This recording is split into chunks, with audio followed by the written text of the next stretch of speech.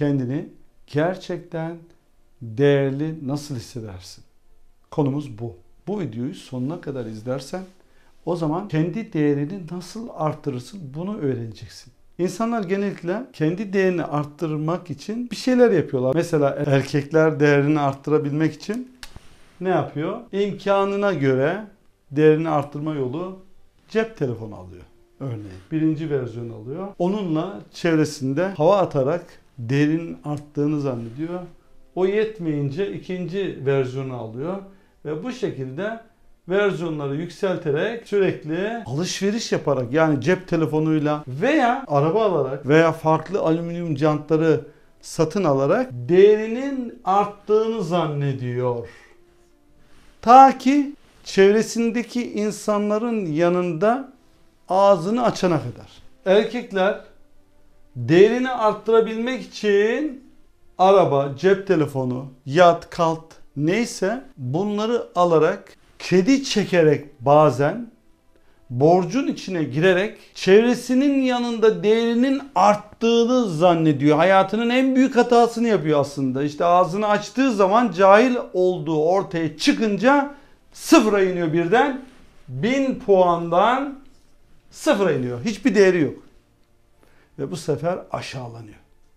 Hayal kırıklığına uğruyor. Ya ben bu kadar borçla, harçla araba aldım. Beni saymaları lazımdı. Veya işte en son model cep telefonu aldım. Tesbihimi sallayarak onların yanında hava atarak değerimin arttığını zannettim. Doğru değilmiş diye yaşı ilerleyince anlıyor artık. Hayal kırıklığına uğruyor ya. Yaşı 50-55'e gelince aşağı iniyor. En büyük hayal kırıklıkları. Peki kadınlar ne yapıyor? Kadınlar kendini iyi hissetmek için ilk yaptığı şey makyaj yapmak. Hocam ben kendimi iyi hissediyorum makyaj yapınca diyor. Değerinin arttığını zannediyor. Yani görüntüde bir değişiklik. Yüzünde bir değişiklik. Fakat buradaki değişikliğin önemli olduğunu daha fark edemedi. Oraya yatırım yapmadı. Sonra saç, saç için dünyanın parasını ödüyorlar. Mesela bizim burada gelinlikçi dükkanları var. 62 tane gelinlikçi dükkanı var. Onların arasında gelinlerin kuaförleri var. Orada normal ortalama gelin kafasını yapmak 500 euro. Hadi biraz iyisi 750 euro. Sadece 2 saat için kafasını 750 euroya yapıyor. Yani görüntüde. Veya altın bilezikleri çoğaltarak, altınları takarak değerinin arttığını zannediyor kişi. Ve komik olan ne biliyor musunuz? Bazı insanlarda 4-5 bin euro tencere takımına para vererek konu komşunun yanında tencerelerin havasını atarak değerinin arttığını zannediyor. Ne zamana kadar? Ağzını açana kadar. Ağzını açtığı zaman cahil olduğu ortaya çıkınca sıfır. Tamamen hayal kırıklığına uğruyor kişi. Arkadaşlar yanlış anlamayın. İmkanınız varsa yapın zaten. Ama İlk yapmanız gereken şeyi söylüyorum. Yani değerinizi arttırmadan yani asıl değerinizi arttırmadan bu yolu denerseniz o zaman fake olduğunuz ortaya çıkıyor. Ve hayal kırıklığına çabuk uğruyorsunuz. Şöyle düşünün. Siz borçla araba alırsanız o araba sizin değil. Veya siz borçla birçok altın alıp kollarınıza böyle dizerseniz o fake. Şurayı doldurmadan, kafayı doldurmadan, asıl değerinizi arttırmadan bu tür yolları ilk önce uygulamanız sizin çabuk aşağı inmenizi sağlar. Çünkü elindekilerini birden kaybedersen, örneğin arabanı elinden alırlarsa, altınlarını senden alırlarsa, bunları kaybedersen o zaman sıfıra inebilirsin. Fakat şu kafanda öğrendiklerini hiçbir zaman alamazlar. Asıl senin değerini arttıran kafadaki bilgiler onları kimse alamaz sizde.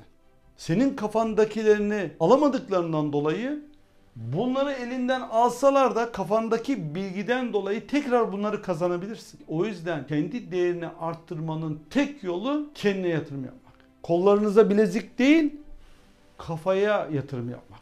Arabaya, alüminyum jantlara değil, şuraya, kafaya yatırım yapmak. Çünkü bu sonsuz hayatta bile lazım olacak. Sadece dünyada değil. Her zaman sana lazım olacak. şuraya yüklediğin bilgi. Bütün her şeyini elinden alsalar da tekrar kazanırsın bir sene sonra. O yüzden bazı insanlar var müflis iş adamları. Elinden her şeyini alıyorlar icra yoluyla. Hiçbir şey kalmıyor bazı iş adamları.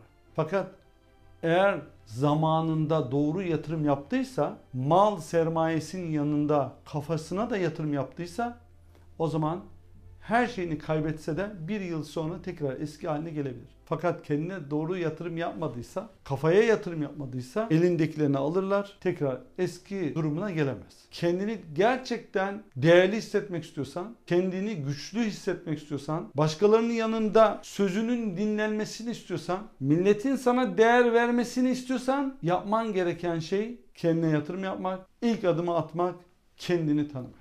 Yapman gereken şey şu gördüğünüz beyin buraya yatırım yapmak. Hani Kur'an-ı Kerim'de ilk emir var ya oku. Oku. Yani ilk emiri yerine getirmek. Buraya yatırım yapmak. İlk emir altın almak değil ki. Araba almak değil ki. Arsa, yat, kat almak değil ki. İlk emir doğru yatırım buraya yatırım yapmak. Çünkü bu her zaman lazım olacak. Bu hayatta da ahir zamanda da sonsuz hayatta da lazım olacak. Dolayısıyla doğru yerden başlamak gerekiyor değerli arkadaşlar. Şu gerçeği de eklemek istiyorum. Eğer sen kendine değer verirsen, doğru yatırım yaparsan, kendine kıymet verirsen, kendine zaman harcarsan, kendine yatırım yaparsan o zaman başka insanlar da sana değer veriyor. Otomatikmen belli oluyor zaten. Sana daha saygılı davranıyor. Senin yanında daha dikkatli konuşuyor. Veya senden senin fikirlerini soruyor bazı konular hakkında. Çünkü artık sana değer veriyor. Senin ayarın artmış. 24 ayara çıkmışsın. Sen kıymetlisin. Ama altın ayarı gibi düşün. Sen altın ayarı olarak 8 ayardaysan o zaman sana kimse bakmayacak bile. 8 ayar altın içerisinde çinko var, gümüş var, bakır var. Bir sürü değeri az olan şeyler var. Yani gerçek altın değil ki 8 ayar altın. O yüzden sen gerçek olmak için, değerli olmak için yapman gereken şey bu. Buraya yatırım yapmak. Bunları bu biraz önce saydıklarımı arabayı, altını, arsa, yatı, katı tamam mı? Bunları kaybedebilirsin ama bunu kaybetmezsin. Bu mümkün değil. Kesinlikle beyninden kimse söküp alamaz. Hiçbir hırsız beynine yatırdığın değerli yatırımları alamaz. Ama bunları alabilirler. Peki sen kendine değer verince başkaları sana neden değer veriyor? Söyleyeyim mi sana? Çünkü sen artık dik yürüyorsun. Kendine inanıyorsun. Özgüvenin var. Gözün daha parlak oluyor. Şu senin göz bebeğinin bile büyüklüğü farklı oluyor. Teninin rengi farklı oluyor. Enerji dolu oluyorsun. Dik duruyorsun. Dik yürüyorsun. Emin konuşabiliyorsun. Fake değil, sahte değil. Gerçek sen oluyorsun. O yüzden senin gerçek olduğunu gören insanlar sana değer verecekler. Çünkü sen kendine değer veriyorsun. Sen kendine kıymet veriyorsun. O yüzden o insanlar sana değer verecekler. Sen de değerini arttırmak istiyorsan yapman gereken şey buraya yatırım yapmak. Sen buraya yatırım yaparsan insanların genellikle buraya yatırım yapmadığından dolayı sen bir adım önde olacaksın zaten. Onların önünde olduğun için liderlik başlayacak sende. Sana böyle hayranlıkla bakabilecekler. Ama sen doğru yere yatırım yaparsan. Yani ortalamanın dışına çıkarsan. Çünkü ortalama buralara yatırım yapıyor. Sen zaten kendine yatırım yapmaya başlayınca arzu ettiğin hedeflere ulaşacaksın. Hayat kaliteni arttıracaksın. Arzu ettiğin ne varsa hayatında onlara ulaşacaksın. Çok basit yollarla kafanı çalıştırarak hayat bereketin artacak. Aile huzurun artacak. Daha planlı bir düzenli hayatın olacak. Sağlığında daha iyi olacaksın. Özgüvenin güçlü olacak. Korkuların, kaygıların azalacak. Önünü görebileceksin. Dolayısıyla etrafındaki insanlar sana hayranlıkla bakacaklar. Burada amaç egonu tatmin etmek değil. Nefsini güçlendirmek değil asla. Şunu anlatmak istiyorum. Sen güçlü olursan o zaman çevrendeki insanlara yardımcı olabilirsin. Ama sen güçsüz olursan, ezik olursan küçük Emrah gibi o zaman kimseye yardımcı olamazsın. Onlara örnek olamazsın. Onları tutup yukarı çıkaramazsın. Eğer küçük Emrah olursan. Şimdi şu soruyu sana sorarak videonun sonuna gelmek istiyorum. Soru şu. Sen kendine değer vermezsen, Başkaları sana neden değer versinler? Bunu cevapla lütfen. Neden o insanlar sana değer versin? Eğer başkaları seni değersiz görüyorsa, sana değer vermiyorsa açık söyleyeyim o insanların suçu değil bu. Başkalarını suçlayamazsın. Bunun sebebi sensin.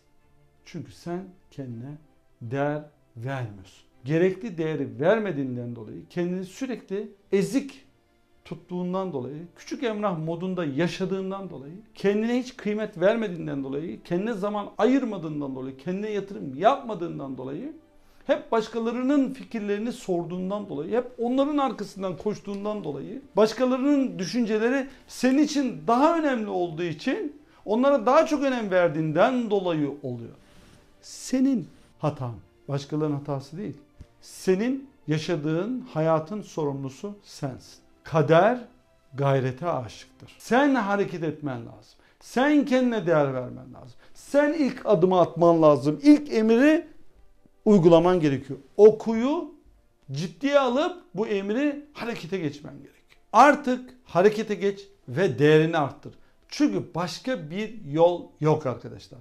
Kendi kıymetini, değerini arttırmanın başka bir yolu yok.